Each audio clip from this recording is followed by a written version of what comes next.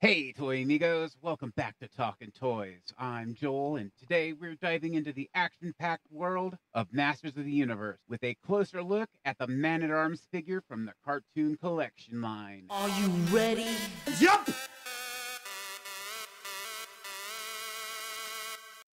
Let's crack open the box on this bad boy and see what this figure has to offer. Setting the figure aside for a moment, look at this comic book.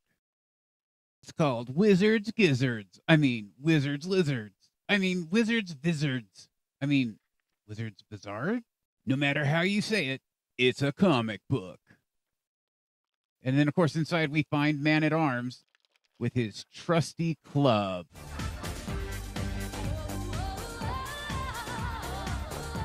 No, not this kind of club. This kind of club. Purdy, ain't it?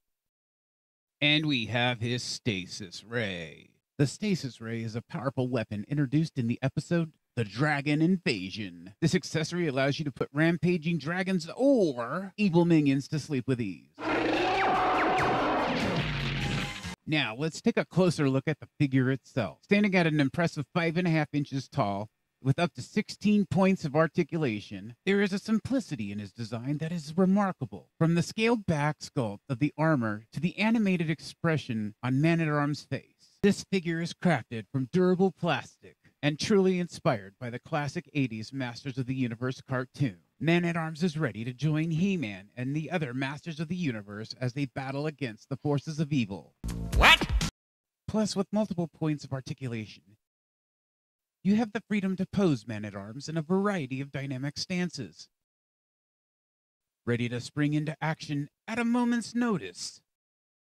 Whether you're a die-hard fan of the 80s classic cartoon or a collector looking to complete your Masters of the Universe cartoon collection or Origins lineup, this Man at Arms figure is an absolute must have. If I had to come up with one complaint, it would be that the skin tone on his face might be a little off, though you might not be able to tell from the video. I want to thank you for joining me today as we unleash the power of Man at Arms in this Masters of the Universe cartoon collection figure review. If you enjoyed this review, don't forget to hit that like button. Subscribe for more epic toy reviews and share your thoughts in the comments below. Until next time, keep those figures posing and those collections growing. This is Joel from Talking Toys signing off.